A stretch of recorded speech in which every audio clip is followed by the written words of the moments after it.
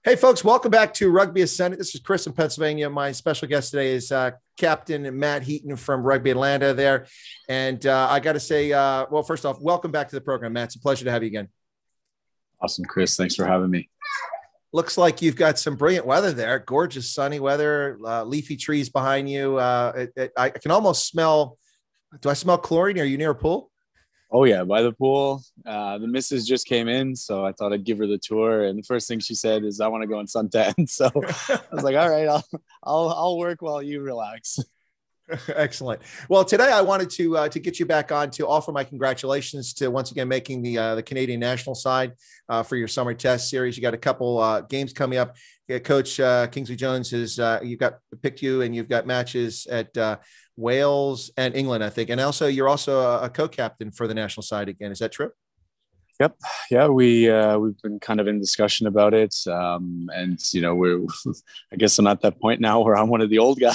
So, uh, yeah, it was uh, kind of just talking about you know leadership and things like that, and then um, yeah, you kind of threw that in there, and I was uh, you know pretty proud moment. I think uh, if you would have told me when I played in under 17 that I'd one day be listed as a co-captain for the men's national team, I, I don't think I'd believe you. But yeah, here we are, ten years later.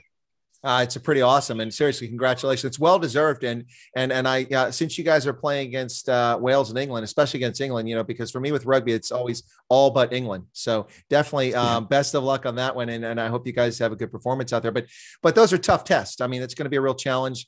How do you feel about uh, about the selections and the team coming together with your chances to perform well? Not necessarily win or, or, but but certainly to perform well because Major League Rugby, I suspect, has had a good impact on Canadian players. A chance to get more appearances under the belt, and they're actually competing against some of the international players that they're going to wind up playing these tests with now. Yeah, hundred percent. I mean, it.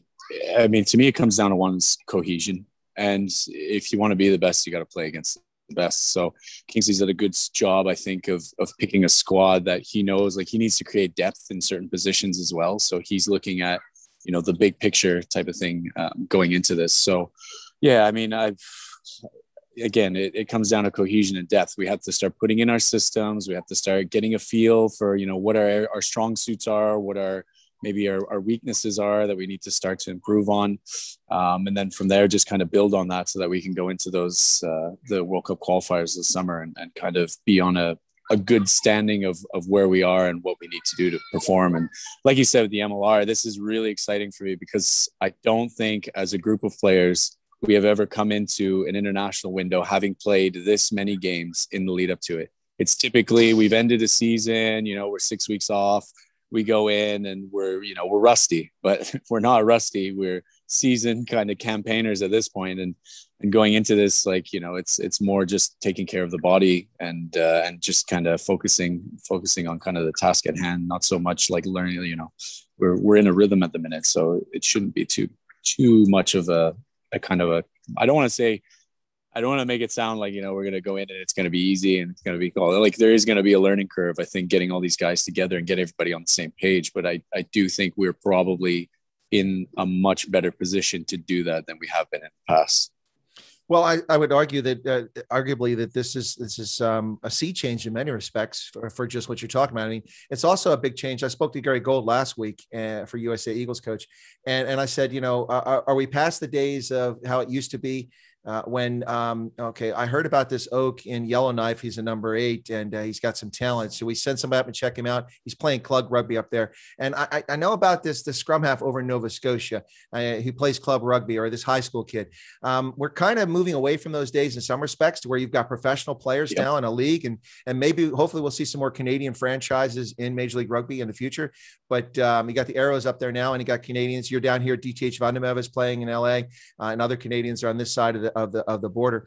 Is it um, is it really a sea change? That's how it is. You know, looking from the outside in, I'm not playing rugby with you guys, but it seems like you guys are. are it's only going to be upward from here with with experience. Yeah, hundred percent. I mean, uh, like you said, we've got guys spread out all over playing rugby. You're in a professional environment, which was also one of the big things. Like you, you, you just described the old system where it was like, yeah, you know, we got this big freak uh, from somewhere. You know, we'll get him out. We'll have a look at him, type of thing. Or uh, you know, this guy's like just playing club rugby here and he works part-time and you know he plays for the national team the other when he's not working. And now it's like no no no rugby is everybody's job. We're there like training performing like we're professional athletes.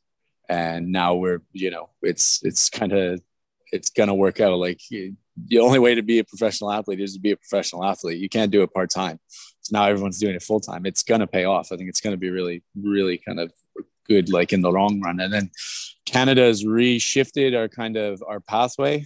Um, and i mean i don't want to go too deep into it but now with the pacific pride program being like an under 23 professional environment where guys are learning how to be professionals and then from there the idea is to to get them into mlr clubs or to get them into the arrows um, so there is a bit more of a defined pathway. I think they just announced that university students from canada will also be included in the draft which again is another way to get more canadian players spread out throughout the league and the more you do that the more depth there is if there's more depth there's more competition and just again it's it gets better and better so i think yeah and then it's perfect timing like that this is starting now with the US putting the bid in for the World Cup. that is huge. And I don't think the, the rugby world, I don't think is ready for when that actually happens. And everybody in the US watches this sport and goes, this is amazing. And it just explodes. I think I, I truly believe that, that that is what's going to happen. And the US and Canada are going to have a lot of really, really good talent comes through after that kind of World Cup.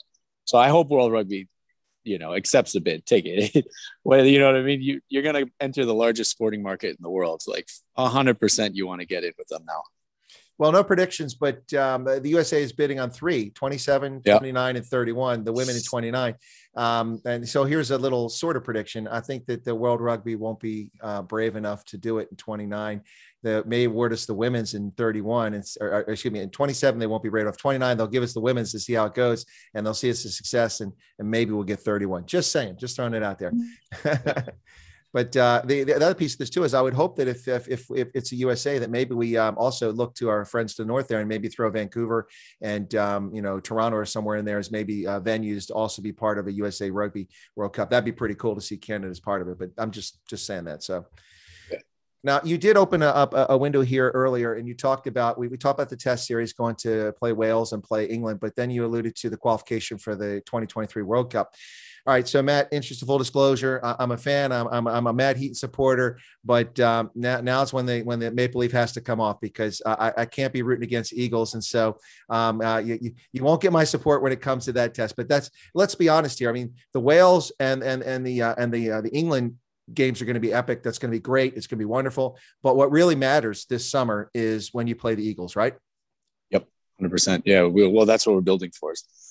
You know, again, like I said, cohesion, understanding, start getting systems, see where we're at, and then we prepare for those games. Like those are the games. Um, again, it, it, I'm really excited for this this tour in July because I want to see where we're at. I'm really, you know, the Canadian players. I said it on uh, the American Rugby Show. I said the Canadian players in every team spread out through the MLR. They're playing well. So it'll be really interesting to see when we get everybody together. Not to say that the Eagles aren't playing well as well, but it'll be really good. I think it'll be a, a really good contested classic Canada versus US, like traditional attritional battle for who comes out as uh, on top of that series. So no, I'm I'm really looking forward to it, and I think I know a lot of the you know speaking to a lot of the guys, you know, a lot of the Arrows guys who are based here in Atlanta as well. Like you know, we're all really excited, like where Canadian rugby is going. Um, so yeah, it'll be uh, it'll be pretty interesting to see. Well, that's actually an interesting aspect you mentioned because uh, for those who don't know, Major League Rugby uh, and the Toronto Arrows took the decision to relocate the entire team from Canada because of the pandemic restrictions that are going on into Atlanta. And so you've shared your your facilities down there with the Toronto Arrows this season. Tough season for them, being basically on the road all season. Um, the rugby uh, uh Marietta may be their designated home, but it's not really home. But I suppose an upside for this is there's a lot of there's a lot of Canadians around because that side's heavily Canadian. So it's more than just a couple Canadians maybe playing for rugby. You got all these other Canadians in town. So are you guys uh, busy uh, making maple syrup and um, you know setting up curling events? yeah, not yet. Well, it's the hockey playoffs, so uh, now they all got to root for the Canadians. uh, Montreal Canadiens beat the uh, Toronto Maple Leafs, so now they got to root for my home team. But uh, yeah, no, my missus is here and she brought me a can of maple syrup, so maybe I'll treat the boys. okay, again, Matt, I, I, hate to keep bringing up points of contention between you and I, but uh, again, I'm a VGK VGK fan, so um, uh, or VGK. I've been a Vegas Golden Knights fan since the day they announced the franchise. So um, while in a normal sequence of events, I would actually be pulling for the Canadians. Um, one of the original franchises, always been a fan of the Habs, but but not this season. I'm sorry, brother. It's it, it's it's the Vegas Golden Knights. yeah, they started well, but you know, go Habs, go. I think uh, I think the support in Montreal. They've just opened up with COVID. They've opened up all the bars and restaurants and things like that. So the city will be thriving. It'll be everybody will be excited for that series. So it'll be pretty interesting to see what goes on. A couple years ago, I was up in Vancouver and um, the uh, the Raptors, I guess, were in the in the finals for the NBA. I don't really follow the NBA anymore. I used to. When Jordan retired. I lost interest. But I'm up there and like there, I, I, went to a restaurant and I'm trying to watch hockey and then uh, there's like a 150 people in, in, the restaurant and they're all watching the Raptors. I'm like, turn that off. This is Canada. It's just sacrilege. what do you do watching basketball? I know Naismith was a Canadian who invented the game in America, but but come on, this is Canada. Put the hockey on. I was I was I was kind of embarrassed for the Canadians. I mean, we all know that it should have been hockey, not basketball on the screen. uh, we're we're proud people. If any one of our teams is doing well, everybody supports them. No, absolutely. So we're switching gears just a little bit here, Matt, before we wrap up. Uh, rugby ATL, tough loss in New York. Uh, did you make the trip up there? Because I know that you were out. Um, but, did you go to New York for the game, or, or are you back in Atlanta? Nope, I was back in Atlanta. I had some things I had to take care of uh, at home, so no, I didn't make it up. But yeah, supported the boys remotely um, as we usually do. Yeah, it was a it was a bit of a tough one because uh, again, you know, I, I feel like we the last same thing happened the last time we played New York. I felt like we let ourselves down. You know, a couple of soft tries that went in. You know, not traditional to us on defense. Uh, a couple of held ups, which you think those would have maybe changed the momentum of the game. I think this the strategy was fairly good. A few brush ups that we could have maybe improved a little bit on, um, but all in all, again, it was it was down to our own execution kind of errors in that one. So tough pill to swallow, but you know the two points to come away with that is good. And i think it, it's lit that fire under our asses again a little bit to to kind of go into this next week with a ruthless mindset that like you know what that wasn't us. We need to get back to us. So I, uh, yeah we're gonna we're gonna have another good week. Well i think that's a good point. And i suppose that's that's refreshing for the team to remember is that um, even though it's a tough loss, it wasn't like you were pummeled on the field and you were dominated by an opposing side. You were playing the other top team in your conference and you were toe to toe with them. And if, arguably, were not for some mistakes um, uh, and maybe a little bit of change, that the outcome would have been different. So I suppose you can take that away from that, knowing that if you play RUNY again, and you get to playoffs and you wind up playing RUNY again at some point, then then um, you're pretty confident you can take them down, even though you had those two losses to them this year. Yeah, for sure. I mean, rugby's exactly. It's it's a bit of a crazy game. Sometimes the bounce of a ball could decide fate, and I don't want to say that it was you know luck. And you know, RUNY's a very good side. Uh, they play a specific brand of rugby, and we play a specific brand. And you know, on the day, their specific brand was a little bit better than ours. And you know, we'll take the the loss on the chin, but you know there's no panic buttons being pushed you know we're, we're not tearing up the playbook and calling the season you know we're back to work. Everybody like i said we've, we've actually we we took it kind of personally and we've kind of got that fire under our asses again to again we're we're back in everybody's doing the work everybody's working hard everybody's doing the review, the preview. We're, we're doing, you know, our formula for winning um, just with a little bit of extra enthusiasm. Well, Matt, uh, it's been a great season thus far. I mean, even in, in, losses, it's, it's, it's, it's, it's been, it's been entertaining rugby coming from the ATL side. So uh, congratulations on that.